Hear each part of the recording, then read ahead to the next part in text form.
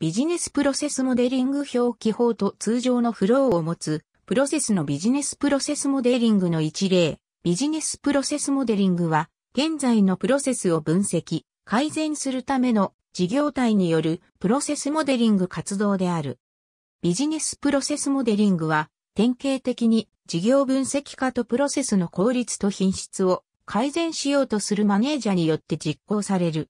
ビジネスプロセスモデリングによって行われるプロセス改善はビジネスプロセスをモデル化することに必要な共通の駆動力である。変更管理プログラムは典型的に改善された事業プロセスを実践に移すことに関わる。大きなプラットフォームベンダーから先進技術を伴った完全実行可能なビジネスプロセスモデリングのバージョンが連日現実に近づいてきている。フローチャート、機能フローブロックダイアグラム、コントロールフローダイアグラム、ガントチャート、パート図、及びイダフのようなビジネスプロセスをモデル化する技法が20世紀の初めから登場してきた。ガントチャートは1899年前後に1920年代にフローチャートが機能フローブロックダイアグラムとパート図が1957年にコントロールフローダイアグラムとイダフが1970年代に初めて現れた。近代的な手法は統一モデリング言語と BPMN である。これらの表現は事業プロセスをドキュメント化するため年代を超えて使われる手法論の分派である。用語としてのビジネスプロセスモデリング自身はシステム工学の分野で1967年の S. ウィリアムズの論文 Business Process Modeling Improves Administrative Control によって1960年代に作られた。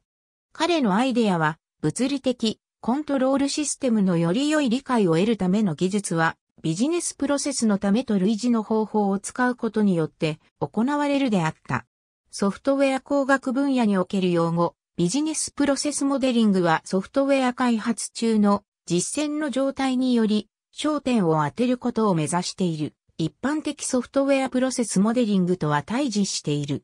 1990年代初期に事業プロセスを描くすべての既存と新しいモデリング技法が考察され、ビジネスプロセスモデリング言語と呼ばれた。オブジェクト指向アプローチにおいて、それは事業アプリケーションシステムの使用における本質的ステップであるべきと考えられた。ビジネスプロセスモデリングは新しい方法論の基盤となった。データ収集、データフロー分析、プロセスフローダイアグラム、あるいは報告ファシリティの支援もまたその例である。1995年頃に事業プロセスのモデリングと実装のための可視化思考ツールが現れた。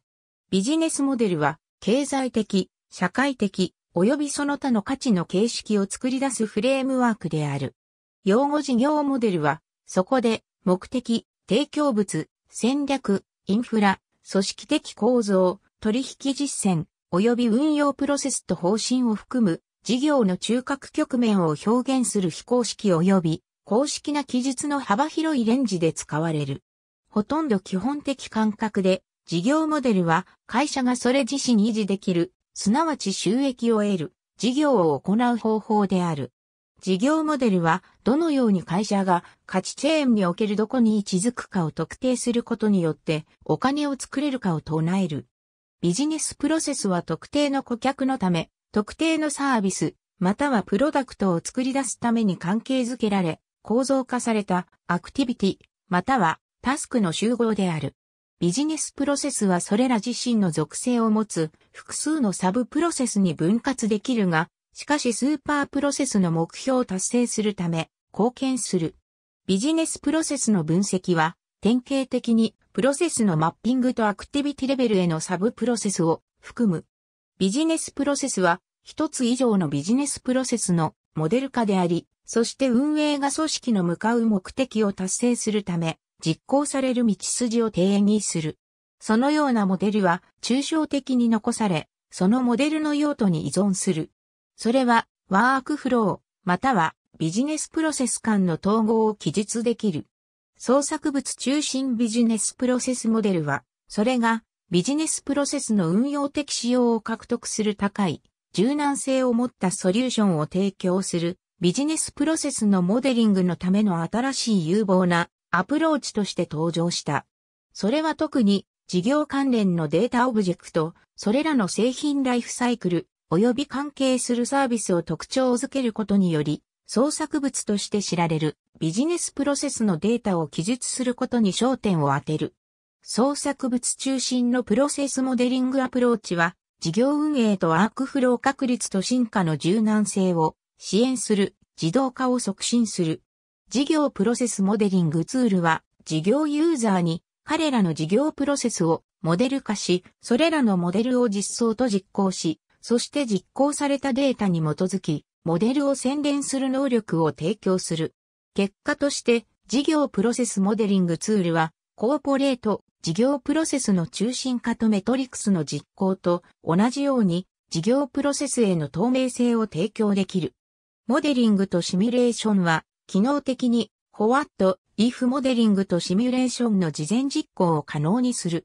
自己実行の最適化は、実際の実施メトリクスの分析に基づいて、利用可能である。統一モデリング言語における事業プロセス、モデリングダイアグラムは、イバー・ヤコブソンによって1992年に創作されたユースケース図である。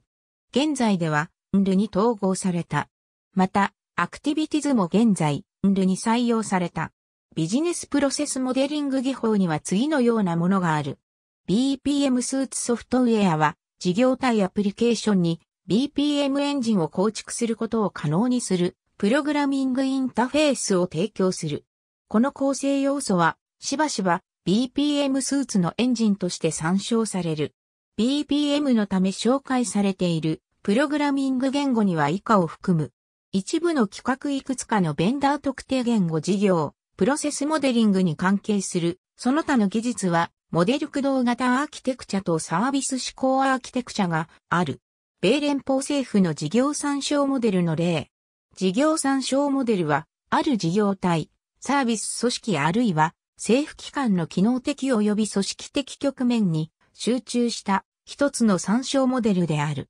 一般的に参照モデルは、基本目標や何かのアイデアを包含しそして様々な目的のための参照として見ることができる何かの一つのモデルである。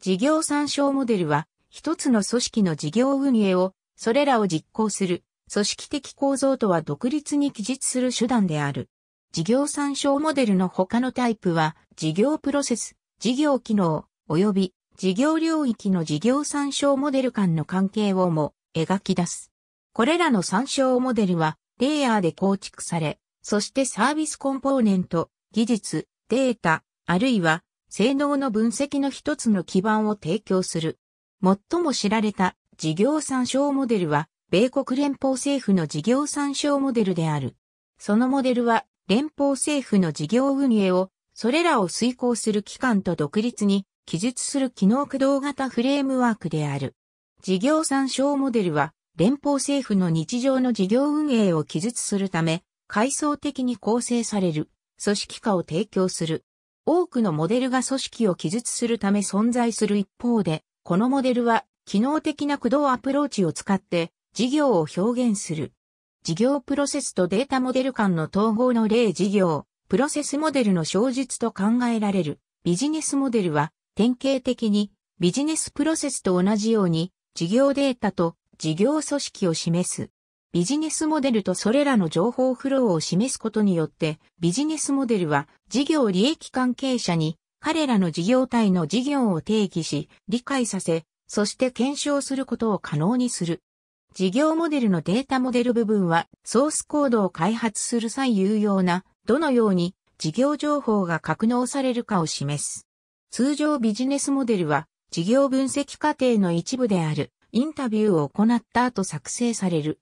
インタビューは、主題の事業、プロセスについて、情報を抽出ための一連の質問を聞くファシリテータによって行われる。そのインタビューアは事業プロセス情報を提供するファシリテータではない参加者であることを強調するため、あえてファシリテータとして参照される。ファシリテータは主題のビジネスプロセスのいくらかの知識を持つべきであるが、しかしこれは事業エキスパートにインタビューする実際的でかつ厳密な手法の精通ほど重要ではない。ほとんど事業体ためファシリテータのチームが事業体を横切って情報を集める必要があり、そしてインタビューアのすべての発見は一旦編集され、統合され完成させられなければならないことから、その手法は重要である。ビジネスモデルは最終成果が as, is, snap モデルと呼ばれるケースのプロセスの現在状態、あるいは結果が 2B となる、どのようなプロセスになるべきかの概念のいずれもを定義するため開発される。as is 及び 2B モデルを比較あるいは対比することにより、事業分析者は、もし既存プロセスと情報システムが効いたままで、ほんの少しの修正を必要とのみか、あるいはリエンジニアリングが問題を修正し、あるいは効率を改善するため要求されるかを決めることができる。結果的に事業プロセスモデリングと続く分析は事業体がその運用を実施する方法を基本的に作り直すため使われうる。ビジネスプロセスリエンジニアリング、サイクルビジネスプロセスリエンジニアリングは組織内及び横断のにあるビジネスプロセスの効率性と効果性を昇降させる手段によって改善を目指す一つのアプローチである。ビジネスプロセスリエンジニアリングの鍵は組織のため、クリーンスレートの観点から彼らの事業プロセス見定め、そして彼らがいかに事業を行うかを改善するため、これらプロセスを最善に組み立てられるかを決める。BBR は民間セクターの技法として顧客サービスの改善、運用コストの縮減、及びワールドクラスの競合力を劇的に達成するため、彼らが彼らの作業をどのように行うかを組織が基本的に考え直すのを助けるため始まった。リエンジニアリングのための主要なきっかけは、複雑化した情報システムとネットワークの開発と配備の継続であった。先導的組織は行っている現在の方法を洗練するよりむしろビジネスプロセスの革新をサポートするこの技術を使ってより力強くなっている。ビジネスプロセス管理はクライアントの望みあるいはニーズに組織を整合させることに焦点を当てたマネジメントの一つの分野である。それは事業が革新、柔軟性、及び技術との統合の努力をする一方で、有効性と効率性を促進する全体的管理的アプローチである組織が彼らの目的を得ようと努力するにつれ、事業プロセス管理は、プロセスを継続的に改善することを試みる。ありがとうございます。